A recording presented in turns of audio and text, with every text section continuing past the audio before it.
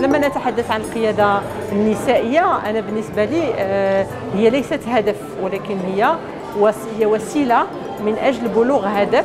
والهدف اللي بغينا نبلغوه هو مغرب متجانس مغرب منسجم مغرب آه، يؤيد حقوق المرأة يؤيد حقوق الإنسان.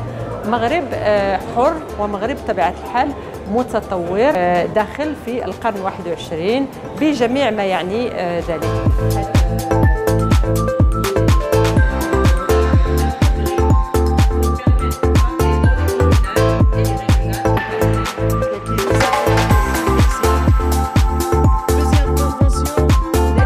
لابد من آه، تجنيد الجميع لابد من تعبئة جماعية من من أجل الرفع بنسبة المشاركة في الانتخابات.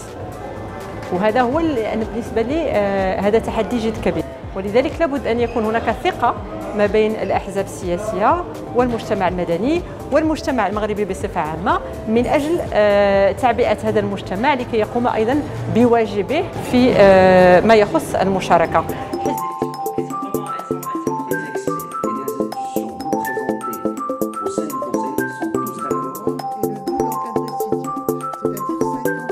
رغم كانت المرأة في التجمع الوطني الأحرار تظهر يعني عندها مكانة آه، كيف ما كان الحال عندنا دائما كان عندنا قيادات حزبية التي آه، تدعم المرأة وخير دليل على ذلك هو خلق المنظمة النسائية للتجمع الوطني الأحرار واللي هي واللي على رأسها الأخت أمينة آه، بن خضراء والتي هي سوف تلعب دور كبير في تعبئة تعبئة نسائية أكبر وتحضير أكبر للنساء باش يخوضوا الانتخابات المقبلة. ولذلك أنا كيظهر لي تنبنيو والبناء صحيح وسليم وهذا البناء أيضا ماشي في في المسار السليم لتقوية القيادة النسائية داخل حزب التجمع الوطني الأحرار.